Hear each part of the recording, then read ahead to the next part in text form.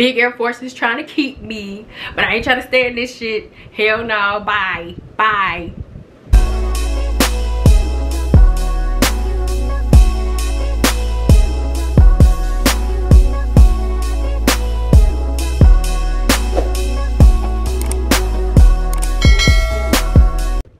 If you're new to the channel, hello, welcome, sit down, sit down.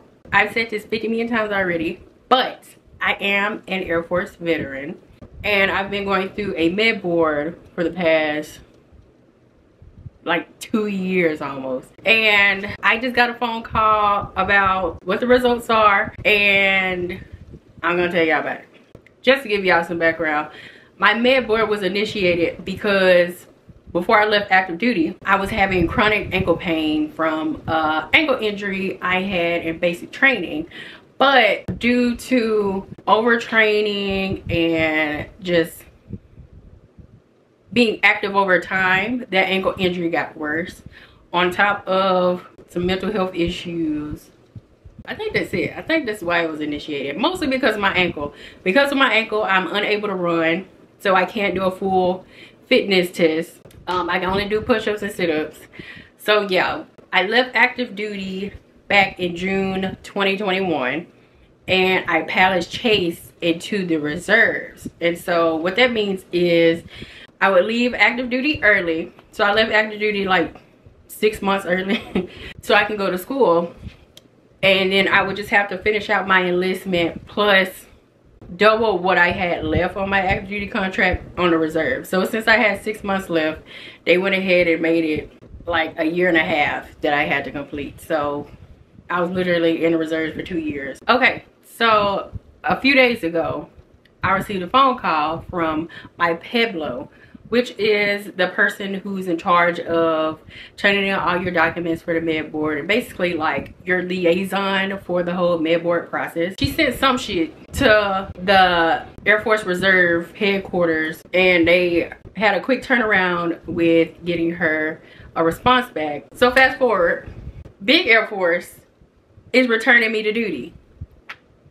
First of all, why the fuck did it take two years to let me know that y'all were just gonna try to keep me in the Air Force? Like, y'all wanna wait till a few weeks before I separate to be like, yeah, you can stay in if you want to. Second of all, this makes no sense because how am I gonna return to duty when I can't run? So, my PEBLO was like, I guess I can deploy as long as it's in the United States. Um, and there's a medical facility at the deployed location. Why would you send me on deployment and I can't run? What if there's a situation where I'm being attacked and I need to get away from my goddamn attacker, but I can't because I can't fucking run what the fuck I'm gonna do? Just stop, drop, and roll? That's the only thing I can do because my ass, if I sprint, I'm be more fucked up than I am now. On another note, the mental health issue, I could be a liability. Yes, if you send me to a deployed location that has a medical and mental health facility, that can help. But why would you send somebody that has a severe anxiety disorder with episodic depression on deployment when that diagnosis came from being in the military. Make it, make it make sense. Make it make sense. So yeah, the results are I can return to duty. Um, I would just be monitored for the next two years. I think they said for 2025. But like I already said, my separation date is in August. So I asked my PEBLO, I'm like, am I safe to just continue out processing because I don't want to stay in the Air Force. Hell no, you can't pay me enough to stay in this shit. Okay? And she was like, yeah, that's fine. We hate to lose you. Bombastic side eye. So yeah, I actually started out processing. The bad thing is I'm trying to do everything electronically and they keep trying to get me to come up there and i'm like um i'm not gonna drive five hours just to turn in a sheet of fucking paper y'all can verify this shit virtually and call it a day on a side note I'm not really surprised that they returned me to duty because I remember I went to the Dollar Tree not too long ago and I was just in there getting like some little stuff. I just love going to Dollar Tree because it's a damn Dollar Tree. Why not?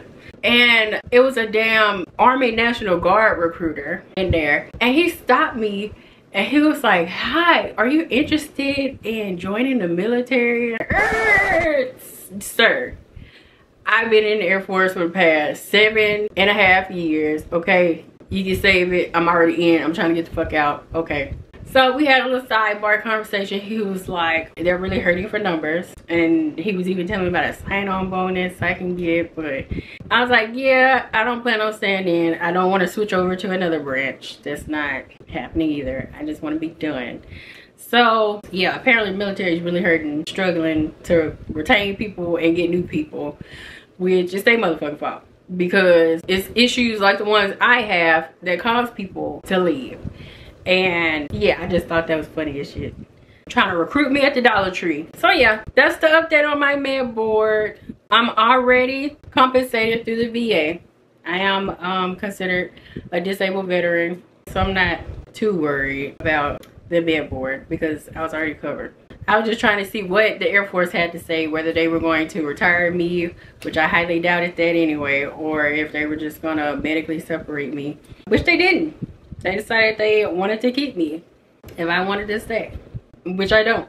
So, if y'all have any other questions or if I said something that you're like, bitch, what the fuck is that? I don't know what that is. I've never been in the military before. You need to break that shit down.